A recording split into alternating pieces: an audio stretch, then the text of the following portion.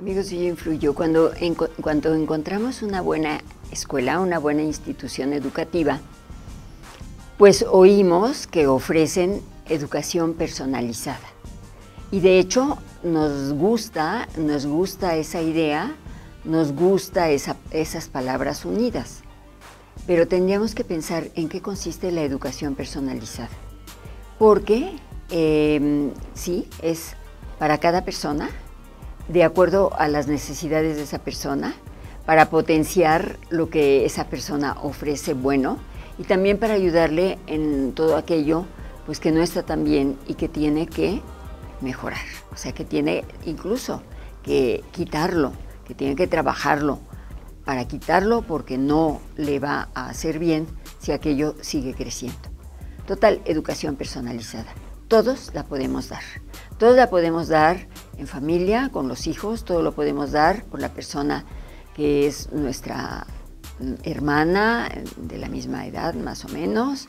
Eh, todos lo podemos hacer también con nuestros padres y todos, si estamos en una institución educativa, también tendríamos que pensar cómo hago real esto que ofrece la institución en la que yo estoy trabajando. Bien, pues miren, les voy a dar unas cuantas recetas que nos podrían ayudar también para, para trabajar de manera personalizada con los demás. Y podríamos pensar en cuatro elementos en los que podríamos fijarnos.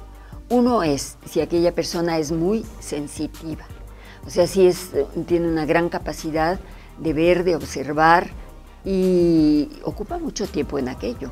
Puede ser muy bueno, pero también tendría que tenerlo equilibrado. Una, persona sensitiva es sí se deja llevar por lo que ve, por lo que oye, mm, por los aromas, etc.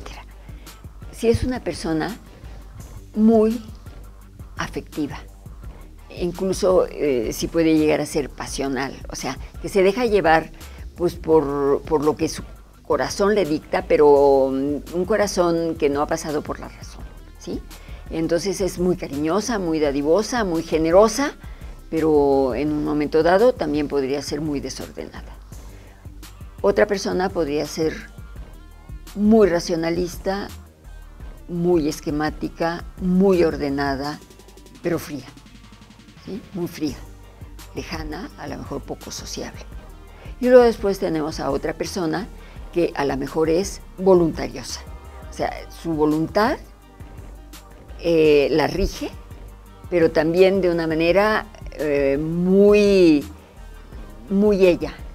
Ella lo ha previsto, ella lo ha pensado y así se tiene que hacer. Bueno, pues son cuatro pautas que nos pueden dar idea de cómo es una persona y ahí es donde nosotros tenemos que equilibrar. Bájale un poquito a la voluntad, bájale un poquito a la inteligencia, bájale un poquito a la afectividad, bájale un poquito a la sensibilidad o levantar. ¿Cómo, cómo vamos haciendo eh, aquello para que se armonice?